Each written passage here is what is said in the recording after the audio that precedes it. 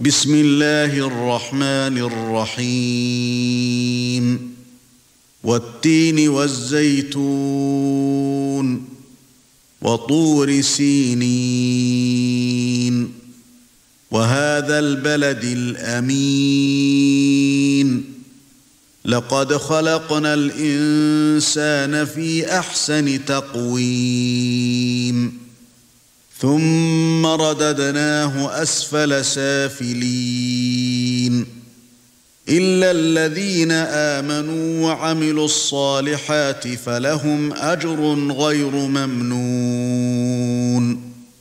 فَمَا يُكَذِّبُكَ بَعْدُ بِالدِّينِ.